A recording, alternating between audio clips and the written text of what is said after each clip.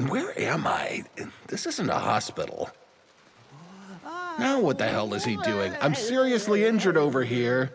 But she's gorgeous. European? Either way, if she's just gonna leave herself open like that.